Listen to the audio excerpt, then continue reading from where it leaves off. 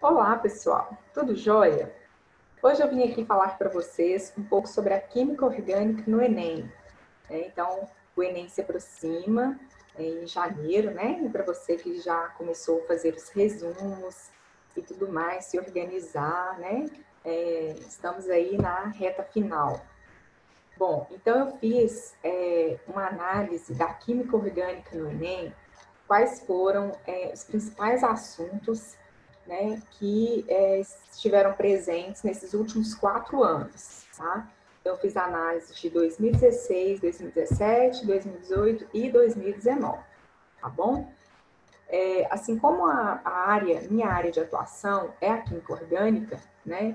É, tanto no curso técnico, é, área de biocombustíveis, agroindústria e também no curso superior, então por isso eu resolvi fazer essa análise específica para a química orgânica, ok? Então, vamos lá. Então, aqui a gente tem um gráfico de é, número de questões versus os temas, tá? Bom, é, então o que, que eu fiz? Eu fui no portal do INEP, peguei todas as provas, né? E da parte de ciências da natureza, eu fui é, analisando as questões que envolvem a química orgânica, ok? Então, iniciando aqui, o primeiro dado, né, fundamentos, teoria estrutural da química orgânica. Bom, apesar que esse assunto, né, ele está presente em vários outros temas aqui, questões que envolvem apenas, né, aquela parte inicial da química orgânica, né, os tipos de fórmula, fórmula estrutural, de linha, fórmula molecular, né, é, número de ligações dos elementos, classificação dos carbonos, então aquela, aquela base, né, lá do início da química orgânica. Então, algumas questões, né, é, exigem apenas esses conhecimentos, tá bom? Então, nós temos aqui é, quatro questões, né? Bom, depois o tema hibridização. É, esse tema já caiu bastante, né? É, antigamente era um tema que a gente via muito, recentemente não tem, não tem caído, né? Uma, uma única questão apenas nesses últimos quatro anos. Depois a gente tem aí grupos funcionais, né? Que são as funções, é, envolvem os hidrocarbonetos, é, funções orgânicas oxigenadas, nitrogenadas, compostos com enxofre, fósforo, né?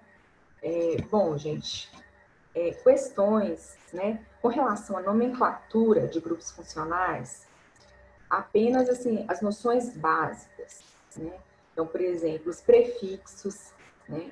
É, prop, but, até 10, 12 átomos de carbono. É, por exemplo, é, ligações simples, duplas, né? An, en, in. Então, assim, noções básicas de nomenclatura. Para os grupos funcionais, por exemplo, se é uma amina, o nome termina em amina. Se é ácido, começa em ácido, é, o nome começa com ácido, né? Então, assim, aquela nomenclatura sistemática, né, e o PAC não tem caído muito, viu, gente? É, então, assim, agora, o reconhecimento do grupo funcional, isso sim, por exemplo, saber diferenciar que uma cetona, né, é, é uma carbonila, um C duplo O, entre dois carbonos, que é diferente de um aldeído, que é uma carbonila na extremidade da cadeia, né? Um ácido carboxílico, é uma carbonila e uma hidroxila no mesmo carbono e tal, por aí vai.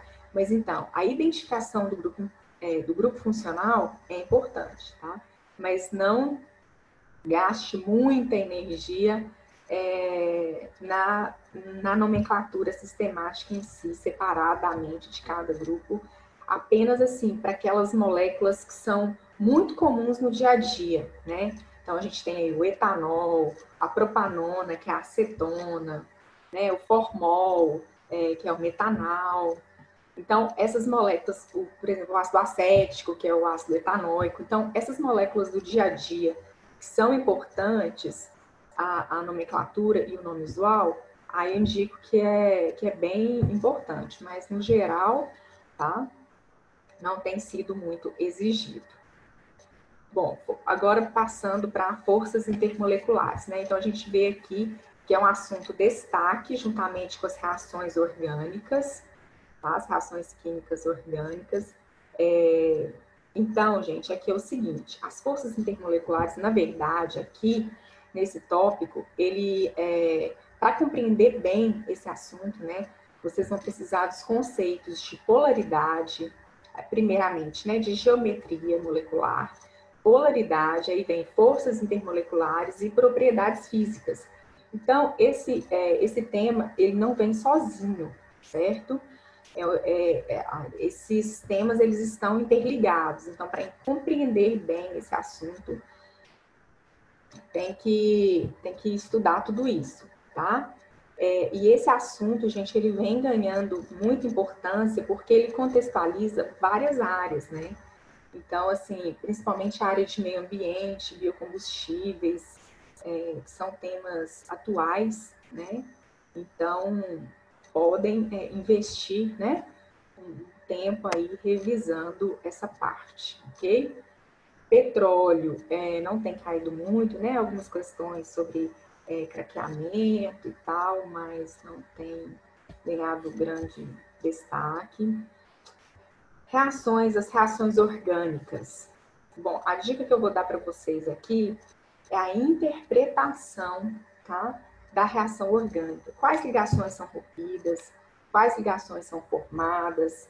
Prestar atenção no que a questão está pedindo, é, está se referindo ao reagente ou ao produto, certo? As condições racionais muitas vezes é, assim eles não levam tanto em consideração, né? Mas prestar atenção nisso também, tá? Porque ele pode te dar é, duas reações e mudar a condição racional e, e, muda também o produto obtido, né? Como a gente tem o caso é, das reações com, com benzeno, que pode acontecer uma substituição, né, ou uma adição, dependendo se for uma alta temperatura e alta pressão, tá?